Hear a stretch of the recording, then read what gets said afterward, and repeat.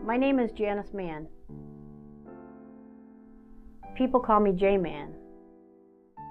I work as desktop support specialist too, and I've been at the Broad for four years now. Each day I help Broadies with any computer problems they have.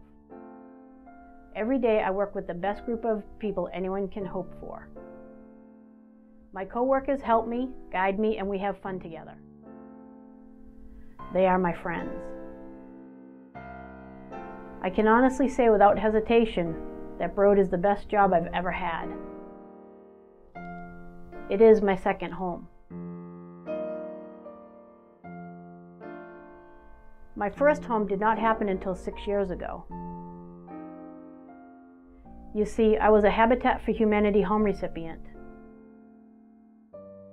I lived with my family for a long time, and when the opportunity happened, I applied. I failed the first time, but for the first time in my life, I fought for something I wanted, something I needed. I got my house the next time I applied. It felt really good.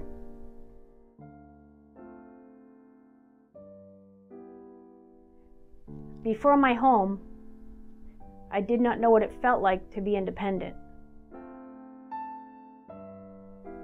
Before my home, I did not know what it felt like to be proud of where I am. Before my home, I did not know what it felt like to really fight for what you want. See, I have two homes. Both give me strength both make me proud. Both are making a difference. My name is Jay Mann. I am home.